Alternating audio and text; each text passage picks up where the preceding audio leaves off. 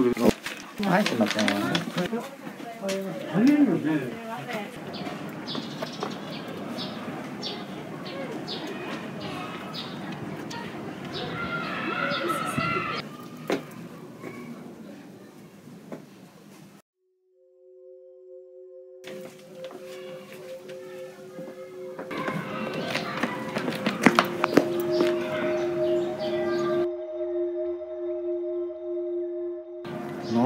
fourrure.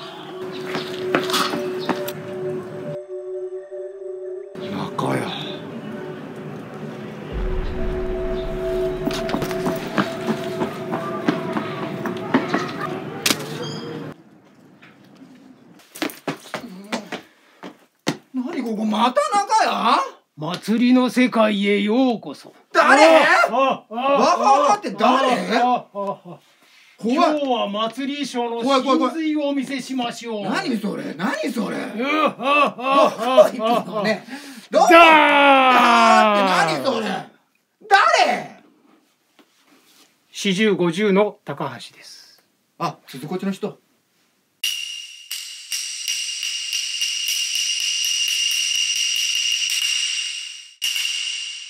続きましてはこちら。えー、じゃあ教えてくださいはい。じゃあまず最初にですね、はいえマスクが重要なんであマスクの方お願いできますか？あしてなかったはい。マスクしなきゃお願いしますじゃあ桃引きお願いします。あじゃあこれ桃引きなんですねはい、これはい。が桃引きになりまして。これどっちが前ですか？実はですねこの正面の方がつながってる形になってまして、右足左足で分かれてます。でちょうど内側にですね中屋っていうタグがありますのでちょうど自分のお腹の正面にこう来るような形で持って右足左足をまず入れていただいていいですかね。はーい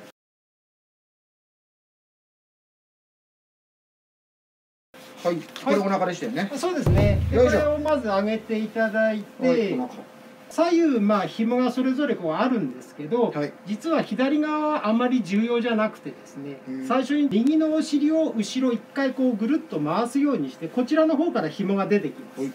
でこちら正面見ていただくと手が入るような隙間があるんですね。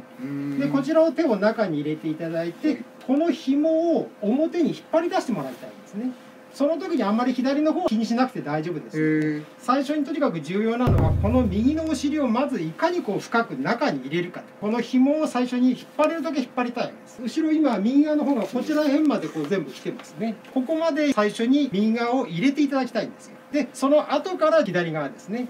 でこれを持ってきていただいてここに紐が出てきますのでこれをまあ最終的には紐を結んでもらうんですけどこれでは実はね正しい履き方ではなくてこの紐をちょっとこう引っ張っていただいてこの紐を掴んでる手をなるべく先の方までこう持っていって足踏みをしてもらいたいんですよ。